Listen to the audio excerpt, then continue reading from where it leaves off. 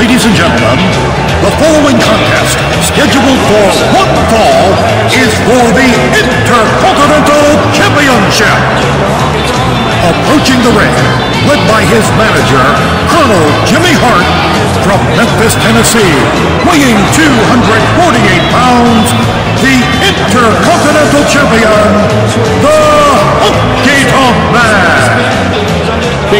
Big on the face of the honky tonk man, despite not even knowing who his opponent will be.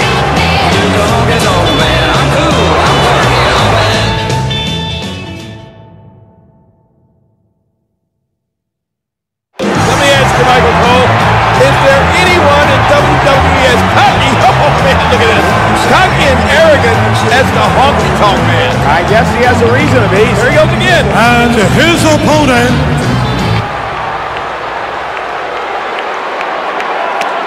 Looks like he's got something to say. Give me somebody out here to wrestle. I don't care who it is. Is you in a challenge? Says he doesn't care who comes out.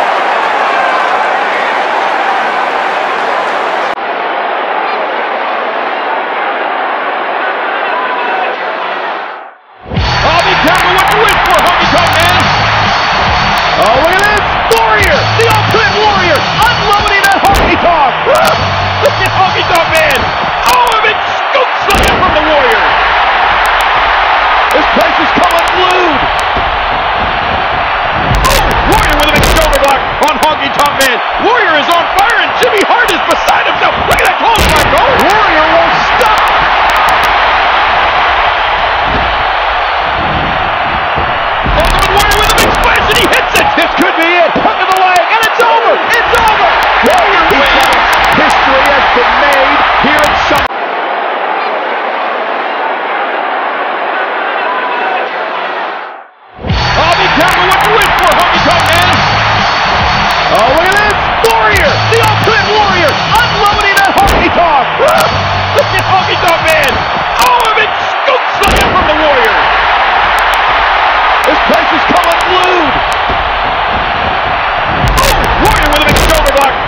On Honky Warrior is on fire and Jimmy Hart is beside himself.